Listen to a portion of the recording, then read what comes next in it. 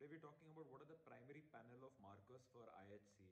So in immunohistochemistry, the uh, there are there are initial there are a lot of different markers by the way. Uh, when you are suspecting a malignancy and you don't know which is the origin from which organ it that malignancy has begun because it's a very high grade tumor. In that case, you are doing a panel of markers and there is a primary and then there are secondary like in primary panel what is happening is that you are taking all the uh, broad classifications. And so one set of markers are the epithelial then there is a set of uh, for the smooth muscle and uh, uh you, you, like soft tissues.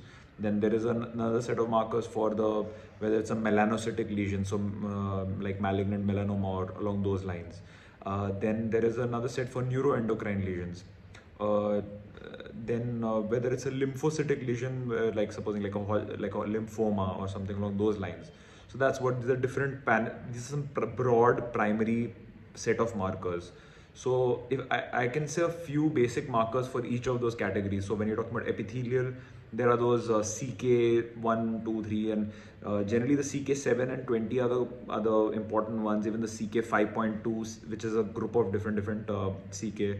Then there is um, uh, there uh, one is the uh, these are CK, but then at the same time there are some uh, EMA epithelial um, uh, membrane antigen.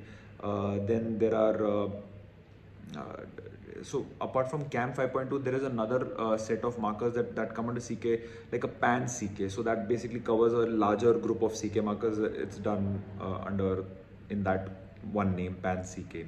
Then when we're talking about uh, soft tissues, there are vimentin, desmin, like the common ones. When you're talking about neuroendocrine, you're talking about the chromogranin, synaptophysin. Uh, in the melanocytic, the one uh, lesions, they're talking about HMB45 or S100. Uh, for the lymphocytic or uh, along those lines, uh, there is the LCA, which is CD45. So these are the different markers that come under the primary panel. Cheers.